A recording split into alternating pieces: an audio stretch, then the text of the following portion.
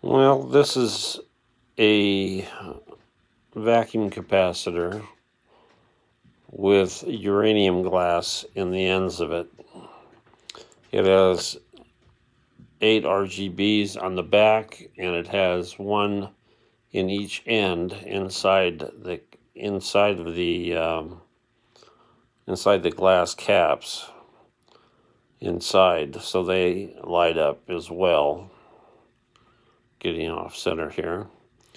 So I'll let you look at the colors as they go through their cycle here.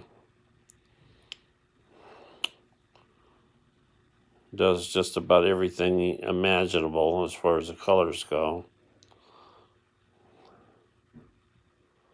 And of course, you have the RGBs underneath the Nixie tubes as well. They change as also, also as well as the RGB and the ammeter, as you can see it changing down there.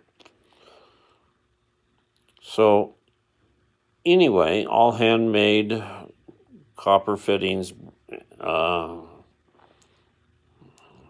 the copper tube plate, the copper fittings for the vacuum capacitor, everything's handmade uh, which means it's not perfect. So if you're one of those people that have to have things perfect, don't buy it because I I wouldn't want you to lose your mind. But if you want something honest and built, uh, well, built to my specifications, at least let's put it that way, then this is something that you may be interested in.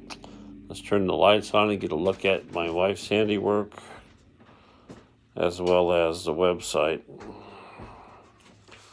which is our website in case you want to go there and buy it instead of eBay. Just don't tell eBay I'm doing this. Okay, thank you very much. Hope you like it. Hope you buy it.